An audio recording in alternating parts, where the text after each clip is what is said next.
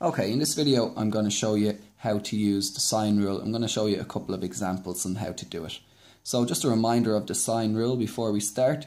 So if we have a triangle with sides uh, small a, b and c and angles big A, B and C, then the side A divided by the sine of the angle A is equal to the side B divided by the sine of the angle B and it's also equal to the side C divided by the angle C.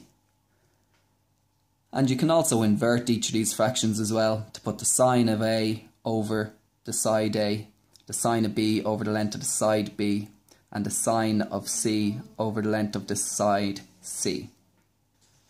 So when we're using the sine rule, we'll only ever use two of these. So for example, we would use two sides and two angles. And if you know any three of these, you can find the fourth one. And you can do them in any order at all, so long as you have an angle and a side opposite, and then an angle and a side opposite.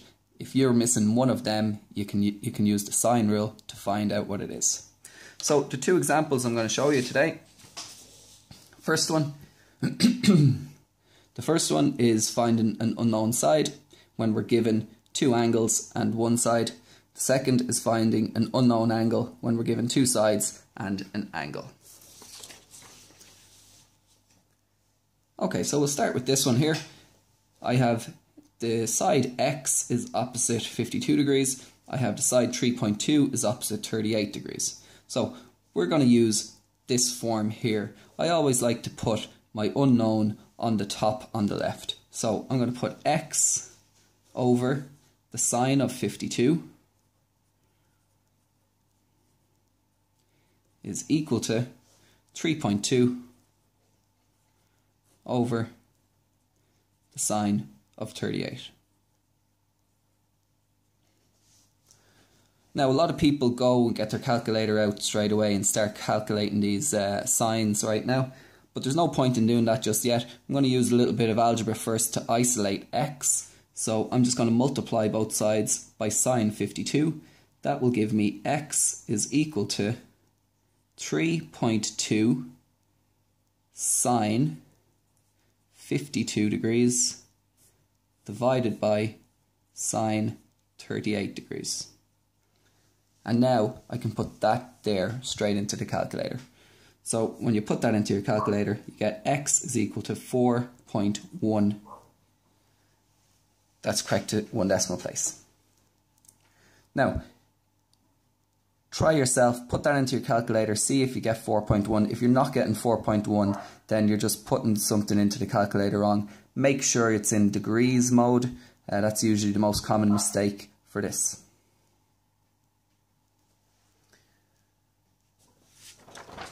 Okay, in the second example, we're asked to find the measure of the acute angle x. Now, this is important that it's the acute angle x because when we use the sine rule, you can often get two answers for your for the same question.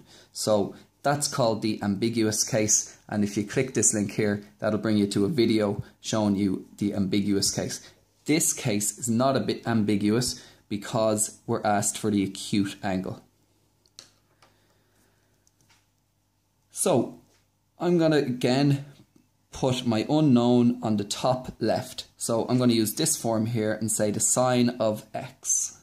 The sine of x over 12 is equal to the sine of 20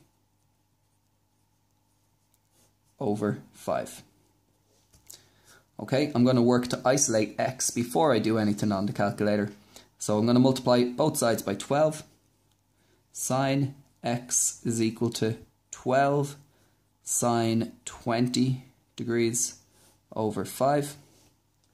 And if I want to find x, I need to get the sine inverse of 12 sine 20 over 5.